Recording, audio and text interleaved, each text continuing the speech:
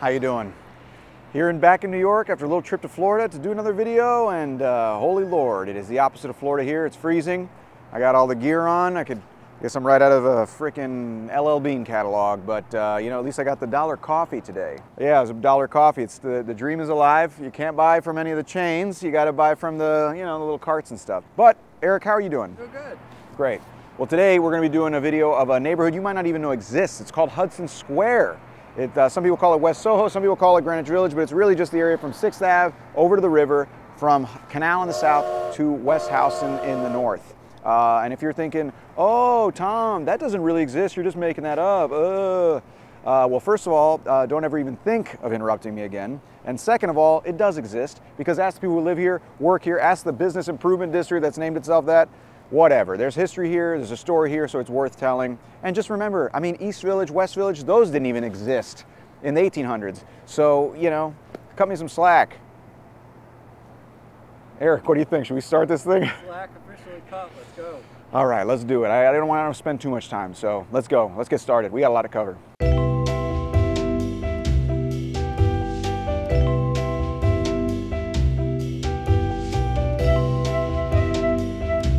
Okay, so this neighborhood here dates back pretty far. Uh, I'm actually here behind uh, 330 Hudson and what's called Old Jan's Alley because this used to be John Seals's plantation. This is one of the original land grants. And they say that this little alley here with that little sign there is, uh, you know, mapped out just like it was behind uh, his, you know, buildings and homes or whatever and laid out in the same way. Anyways, most of this area is owned by Trinity Church. Trinity Church, which is uh, the church down on uh, Wall Street and Broadway. Uh, it's where Alexander Hamilton is buried. We're going to talk about that a little later, a little foreshadowing, Eric. Huh? Cool. Uh, but Trinity Church actually owns uh, a lot of land here. They, uh, they were granted land in 1705 by Queen Anne, 215 acres. Here, Tribeca, other parts of the city, uh, they're one of the largest landowners in New York and the richest parish in the United States because of all of that land. So, for all of you uh, who don't believe, just know that God is real. A state. Nice. Thanks. Uh, but yeah, a lot of this land's still owned by them, but they're a big uh, landlord in the area. And this is uh, Old Jan's Alley. And uh, you know, continues on through the 1700s, but it was mostly farmland. It was an area known as Lispenard Meadows uh, for Lispenard Meadow for a, a, long time. Then it actually bled down into Tribeca as well. Uh, but it starts to get developed in the 1700s, just a little bit, little homes and stuff like that, and we'll talk about that as we go. Should we keep moving, Eric? Keep moving. Uh, let's go, because it's cold.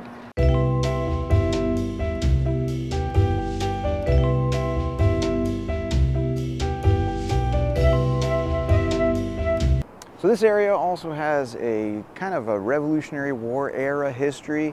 We talked about how this used to be farmland and all that, but it slowly started to kind of get developed uh, as people kind of moved out towards this area and New York became an American city. Uh, so this is actually the Ear Inn. It used to be the home uh, of a man named James Brown. It was who was the, the aide uh, in battle to George Washington, and he's actually depicted it in Emanuel Leutze's uh, you know, the, the painting of, of Washington crossing the Delaware. Pretty crazy, huh? And this, this guy's James Brown. Uh, and if you're thinking, man, Tom, that's just a lot of dudes' names, huh? And that's because, unfortunately, this is a man's world. That was pretty good, right? It was pretty good, Tom. Thanks. Anyways, uh, this was actually his for a little while. After he died, it actually became a bar. And also, keep in mind, the water used to reach up right to this bar pretty much, right to this little uh, structure. So it's been filled in over time. Uh, in the 1800s, it was taken over a man named Thomas Cook, used to sell beer out of this place.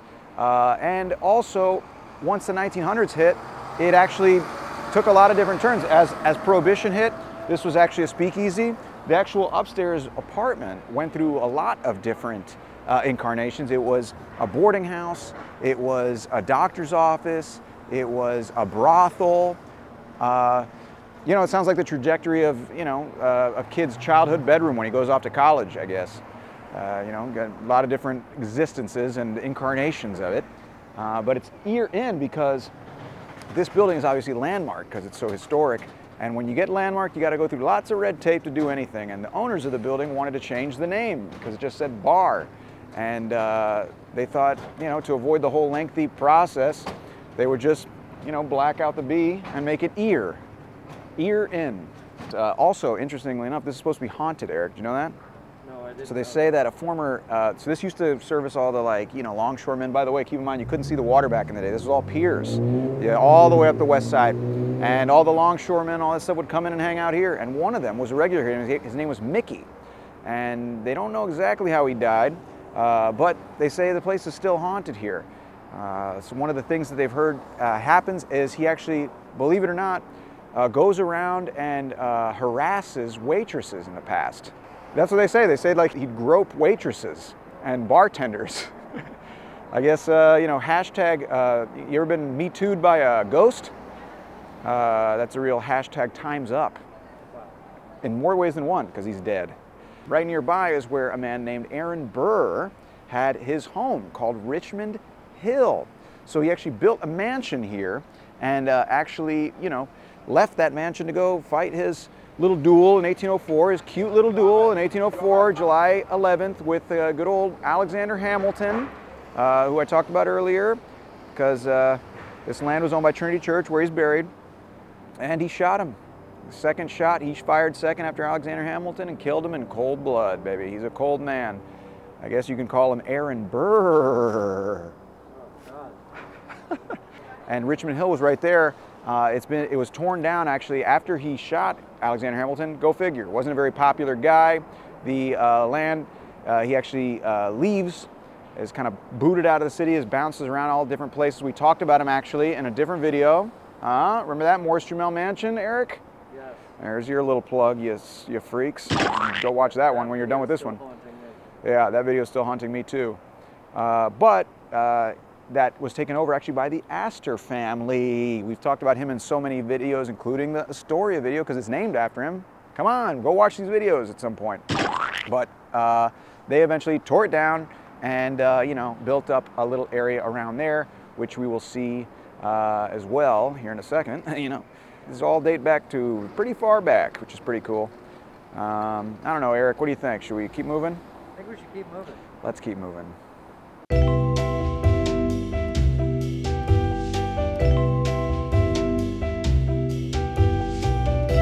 So as the early 1800s started to develop out here, so did the neighborhood. People were moving out of what's considered New York back then, which was lower Manhattan, and they were moving out. Things were getting developed. I'm actually in front of what is called the Soho Playhouse uh, because this was built in 1826 uh, by John Jacob Astor, actually, who owned the land here. Uh, went through lots of different incarnations, but this is typical of this neighborhood. So this little area is called the Charlton King Van Dam Historic District. This was the fourth historic district named in New York because this was all developed by different houses at different phases to house people who were moving out of uh, boring old town, downtown in lower Manhattan. Uh, then you have this little neighborhood that I was saying, the Charlton King Van Dam Historic District, which is different phases of housing that were built to accommodate people living here. The phases are one is the federal style housing, which was built around the 1820s, and you can see those houses. Uh, what makes them federal is the Flemish bondwork, which is the brickwork, and also the dormers that pop out from the roof of the buildings. This is a really cool little detail you should remember because when you're on a date around here, you're walking your date after going to, you know, uh, the Soho Playhouse or something, and you point those things out. That's gonna that your date's gonna marry you on the spot, or they're gonna call a cab and haul ass on the spot. It's a risk. I'm not gonna lie to you, uh, but you know, pretty cool information either way. So that's the first phase. You had the, the federal style housing built around that time. Then the mid 1800s come and you have the Greek Revival townhouses built. You can still see those uh, as well. Those are also landmarked, obviously. And then you have the tenement buildings, all kind of cohabitating in this same area. The tenement buildings came later also when immigrants started to pour in uh, in the second half of the 1800s, later 1800s, et cetera. So pretty cool how all those different architectural styles uh, coexist. So this building is the Soho Playhouse. I told you the building was finished in 1826, but it became in the 1880s the Huron Club, which was specifically for Tammany Hall, which I've talked about in the past. It used to be headed by William Boss Tweed, huh? The famous corrupt dude. Uh, also, you know, catered to Irish immigrants. They used their clout to then put people into office who then give them favors. pretty pretty sweet uh, setup they had. Uh, then it also, it also housed a, a man named uh, Jimmy Walker, who used to, he's not the dynamite guy, he's the, he's the actual mayor of New York uh, in the 1920s, was kind of the hotshot mayor, greased his hair, had an affair. Wow, that's a lot of rhyming, that's pretty cool. Amazing. Oh, thank, but he, was, he did all those things. He used to hang out with celebs, uh, and then he got caught up in a scandal. Shock. Uh, but uh, in the 1920s, it also then became a speakeasy, a theater speakeasy, uh, and uh, also the upper floors while it was a speakeasy and a theater. Any guesses as to what could have been up there, Eric? Brothel. You're a hornball, but you're right. So it became a, a brothel in the upper floors. Uh, then in the 1960s, it becomes the Playwright Units Workshop, uh, which a man named Edward Albee produced a lot of people here, like Lanford Wilson, Sam Shepard, who, uh, who wrote a great play called True West. Have you ever heard of that play, Eric? No, I haven't. It's a great play.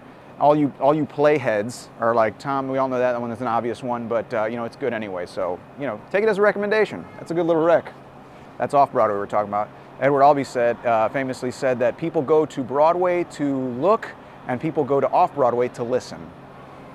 That's a good quote, right, Eric? It is, yeah.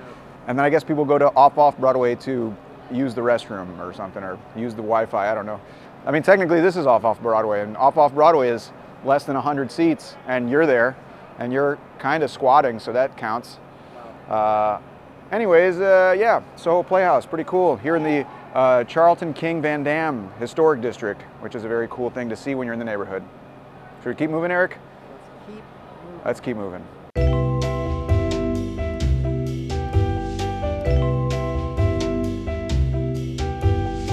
So as the 19th century progressed to the second half, like many neighborhoods in New York, this became a, uh, an industrial, more industrial neighborhood uh, for a few reasons.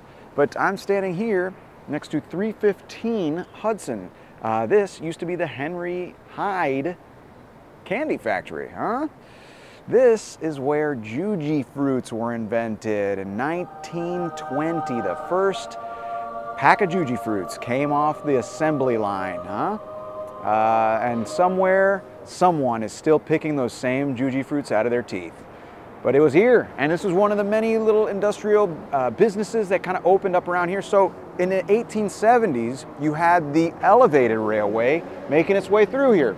Uh, this was the predecessor to the subway. It actually went from Lower Manhattan up 9th Avenue and passed right through what is uh, what was then, I guess, becoming Hudson Square. Uh, it was the predecessor to the subway.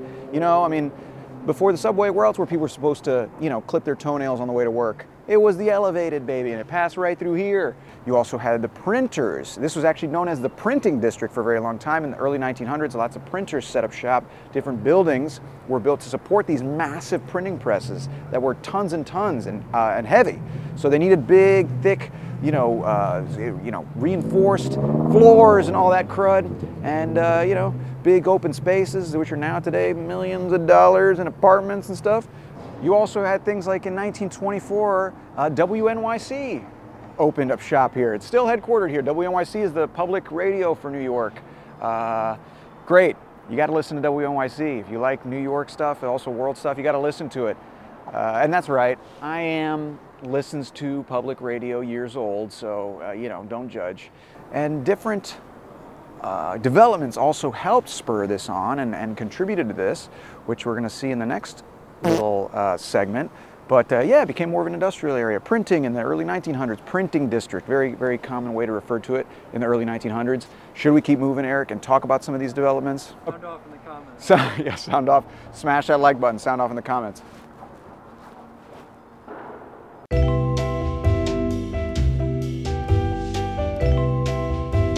So there are certain developments in this neighborhood that have kind of changed this trajectory or influenced the way it's developed. Uh, and I'm standing in front of one of them. I'm in front of one of the entrances to the Holland Tunnel. Uh, think about how incredible this is. This thing goes to a depth of like 90 feet under the Hudson River. It's 8,500 feet long, and it was the first actual connection to New Jersey. Uh, and it was finished in 1927. November 13, 1927 is when it opened. Uh, pretty crazy. Uh, in fact, there's four different buildings with 84 fans uh, that basically in every 90 seconds completely replace the air down there so people don't just choke on all their you know fumes and stuff. These giant buildings that just basically you know, evacuate all the disgusting air uh, on, on either side. We got to get one of those things for outside of Eric's bathroom, right, Eric? Roasted. Interesting fact also, 1949, there was a huge uh, disaster inside. A, uh, a, a, truck carrying like these chemicals caught fire. Uh, and, and, a firefighter died, and 66 people were injured from smoke inhalation. So things do happen. Uh, that was the second worst disaster in Holland Tunnel's history, uh, behind only the movie Daylight, starring Sylvester Stallone. Real two percenter joke there.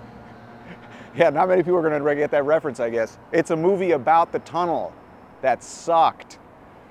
It was the first mechanically ventilated underground tunnel in the world. Isn't that crazy? Uh, and 13 sandhogs died building this thing. In case you don't know, sandhog is just a name for the workers who deal with building and digging tunnels around New York. There's a whole world underground.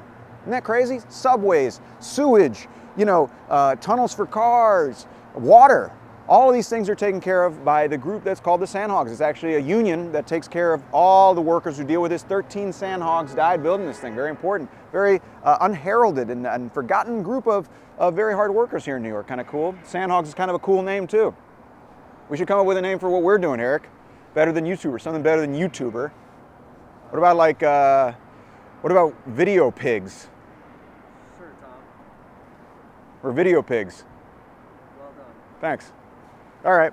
Well, this is the Holland Tunnel, very important development in this neighborhood. This is the entrance to the Holland Tunnel. Today there is the Lincoln Tunnel and also obviously the, uh, the, the, George Washington Bridge connecting to New Jersey as well.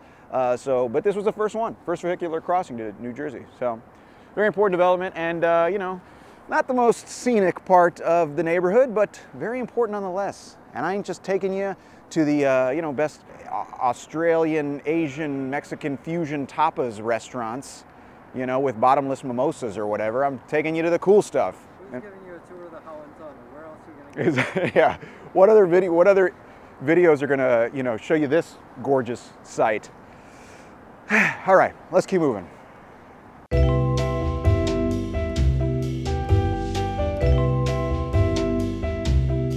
So the neighborhood has changed. I'm here to talk to you now about the present day of this neighborhood. Uh, I'm at 565 Broome Street. This is a building that was designed by Renzo Piano, a Pritzker Prize winning architect. For those of you guys who don't know, the Pritzker Prize is like the Nobel Prize of architecture. You win it once a year. When you win it, it's basically cha-ching, I'm gonna go around the world and just design big crazy buildings and uh, people aren't gonna question how ridiculous they look because I am famous. This is one designed by Renzo Piano. He's the guy who designed the Whitney Museum. I don't know if you know the name Renzo Piano. Maybe you know his uh, less famous uh, younger brother, uh, Giancarlo Harmonica. Uh, this building is uh, one of the many buildings that have gone up since 2003 in this neighborhood. Over 18 uh, residential buildings have been built, big ones, big condos, very fancy, very getting expensive. But because this neighborhood is nestled between Soho, Greenwich Village, and Tribeca to the south, uh, this is actually a, believe it or not, more uh, value-oriented neighborhood. Uh, yeah, a one bedroom for almost $2 million is good value here. Uh, go figure, that's how expensive the neighborhood in uh, Manhattan is getting. But it wasn't always like that in the 1970s. Just like most of Manhattan and most of New York, this area was run down. So artists moved in, things like the Film Forum opened up on West Houston Street, a very cool nonprofit that's still there. Uh, makes most of its money off grants and donations, so it's able to show good movies. What a shock. They're not uh, beholden to all the superhero movies and Matrix sequels. Eric, you like uh, Film Forum, don't you? I love the Film Forum. It's a great place. I'm going to go ahead and just give you guys that little plug. It's a great date. And you might be thinking, oh, that's Greenwich Village, that's West Village, ah, whatever, man. Remember, there are different boundaries. Different people have different boundaries for neighborhoods, whether it's the people who live here, the business improvement districts, the historic districts, there's all kinds of you know, so just, you know, take the information. Anyways, uh, so the 1970s uh, was kind of run down. Then other businesses started moving in. Different tech businesses actually started moving in uh, more recently. Uh, and in fact, like Warby Parker, Harry's Razors, uh, Oscar, the, uh, the healthcare, an important, I guess, uh, thing happened as well. In uh, 2009, the Business Improvement District was created for this neighborhood, a Business Improvement District. This is important, Eric. A lot of people don't know what these are.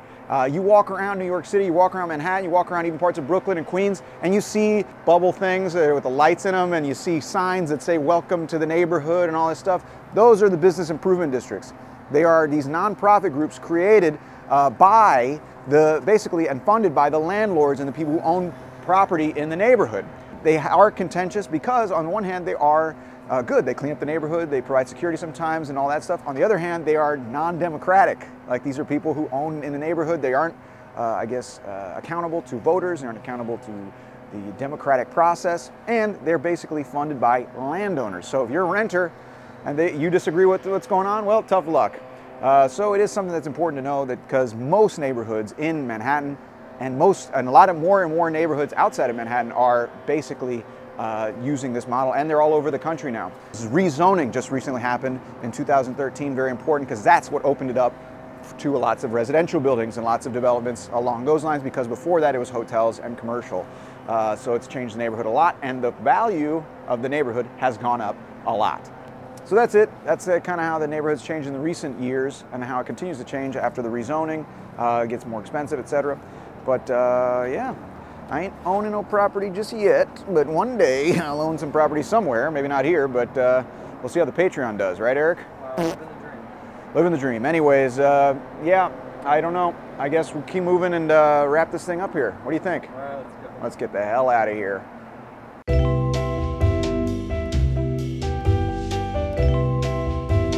Ooh.